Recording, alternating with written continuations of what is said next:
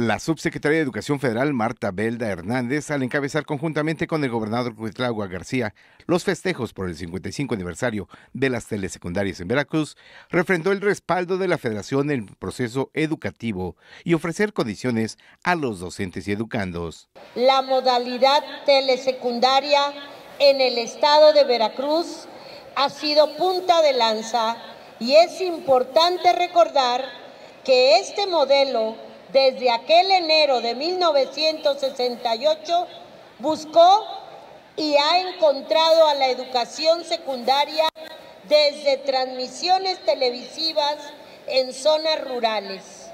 Hoy tendríamos que decir, tras 55 años de su implementación, un modelo de telesecundaria que sigue siendo vigente y que favorece la incorporación de la población en la búsqueda de nadie se quede atrás. Al hablar el mandatario estatal, Cuitlagua García reconoció que en Veracruz se brinda todo el respaldo al sistema de secundarias, el cual quisieron desaparecer en el 2013 con la reforma educativa, dejando en claro que hay mucho que celebrar este día en el 55 aniversario de la fundación en este sistema de educación. Quisiéramos nos siguieran ayudando a fortalecer este sector del magisterio Necesitamos muchas cosas eh, por hacer juntos.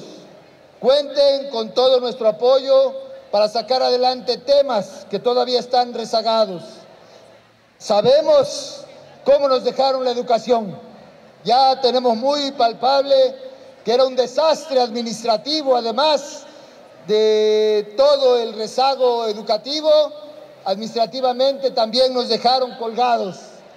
30 años se convirtieron en un rezago por regularizar plazas, por homologar plazas.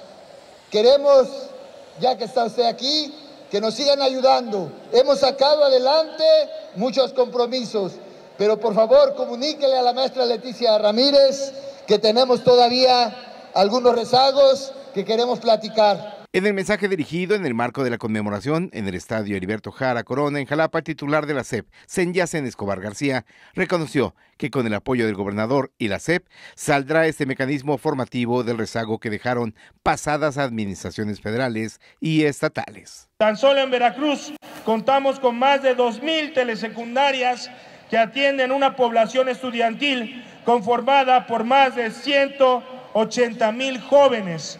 Y no hay que olvidar que desde sus inicios esta modalidad educativa se pensó para beneficiar a las y los estudiantes de zonas rurales, por lo que la entidad ha sido fundamental para la continuidad de estudio de niñas y niños de zonas de difícil acceso o históricamente olvidadas por los gobiernos anteriores. Pidieron a la funcionaria federal hiciera patente a la titular de la CEP, Leticia Ramírez Amaya, su respaldo para avanzar en fortalecer a este mecanismo de educación básica.